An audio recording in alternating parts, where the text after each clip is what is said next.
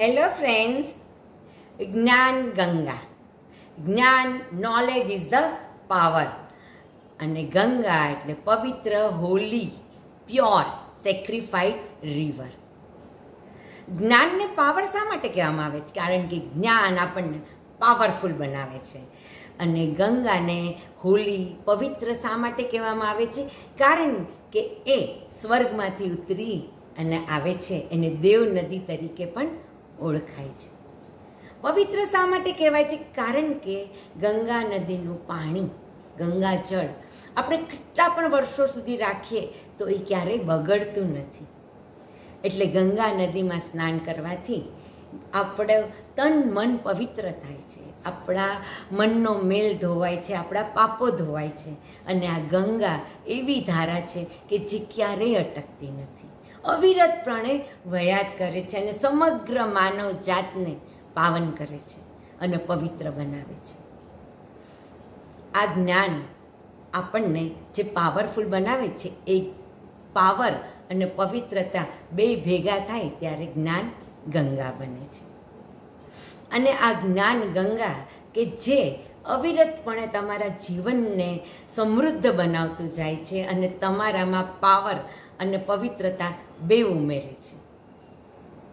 આ જ્ઞાનના કોઈ સીમાડા નથી, કોઈ મર્યાદા નથી, કોઈ ક્ષિતિજ નથી. એ જેટલું મેળવીએ એટલું ઓછું છે. અને જેટલું મેળવ્યું છે એ અમૂલ્ય છે અને જેટલું મેળવવા પ્રયત્ન કરીએ છીએ ને એ અમાપ છે. જ્યારે વિચારોના બંધ તોડે છે ને, ત્યારે આ જ્ઞાનની ગંગા વહે છે. હવે ઘણા લોકો એવું માને છે અને સમજે છે અને કહે છે કે મને જ્ઞાન ચડતું નથી. હું વાંચું તો મને કંઈ યાદ રહેતું નથી. ઘણી વખત મને સમજ પડતી નથી. તો શું? આપણે જ્ઞાન લેવાનું બંધ કરી દેવાનું એના હિસાબે? આપણી શક્તિને કુંઠિત કરી દેવાની? આપણી જિજ્ઞાસા વૃત્તિને ત્યાં દબાવી દેવાની? ઘણા તો એવું પણ કે આ ફિલ્ડનું, કે આ વસ્તુનું, કે આ ફ્લા ફ્લા, મને એ જ્ઞાન ક્યારે કામ લાગવાનું છે? મારે શા માટે એની માટે મહેનત કરવી જોઈએ?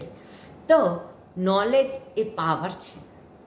તમને ઓલ ટાઈમ એની ટાઈમ કામ લાગે છે. તો હવે આ જે તમારા સવાલો છે ને, એના માટે હું એક ઉદાહરણ આપીશ કે જેથી તમારા દરેક સવાલના જવાબ અહીં મળશે. એક નાનકડું ગામ છે, એમાં ખેતર છે એક નાનકડું એવું, અને એના છેવાડે એક ઘર છે. ઘરમાં પતિ, પત્ની, દાદા અને પૌત્ર આટલા જણ રહે છે. સવાર થતાં પતિ, પત્ની કામે નીકળી જાય છે, પછી ઘરમાં રહે છે દાદા અને પૌત્ર.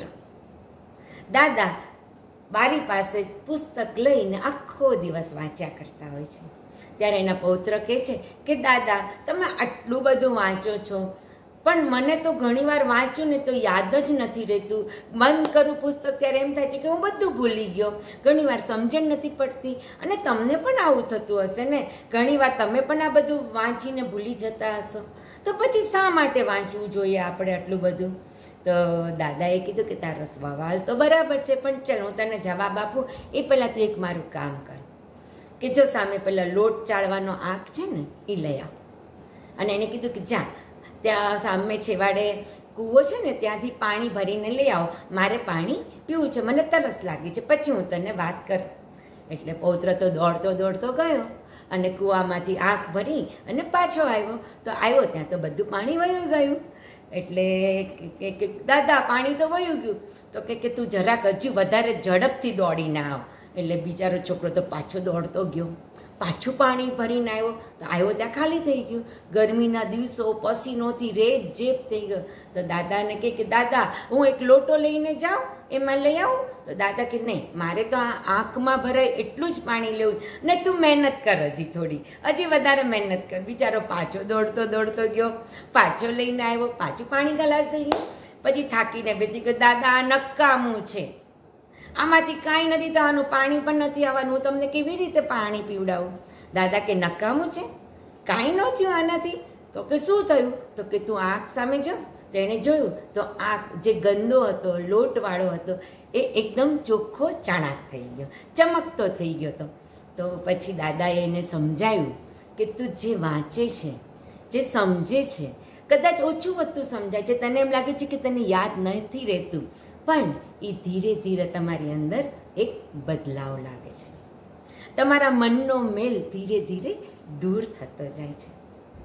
તો મિત્રો, આપણે પણ આ જ વસ્તુ સમજવાની છે. કે આપણે નથી યાદ રહેતું, નથી સમજાતું, એની બદલે જેટલું વાંચીએ છીએ, સારી વાતો, સારી વાર્તા કે સાંભળીએ છીએ, એ આપણામાં સતત એક બદલાવ લાવે છે. અને આપણા મન પર જે મેળ જામેલો છે, એને દૂર થતો જાય, કરતો જાય છે. અને આપણે એક પવિત્ર, શુદ્ધ અને પ્યોર તો બનીએ છીએ, પણ સાથે સમૃદ્ધ પણ બનતા જઈએ છીએ. તો આપણે આ જ્ઞાન ગંગામાં નાહીએ નાહીએ નહીં તો હાથ પગ તો ધોઈએ. હાથ પગની તો છંટકાવ તો કરીએ કે જે આપણા જીવનને, આપણા જે પણ વિચારો છે, એને સમૃદ્ધ બનાવશે, આપણામાં બદલાવ લાવશે અને આપણે એક પ્રસન્ન અને શુદ્ધ જીવન તરફ આગળ વધીશું. Thank you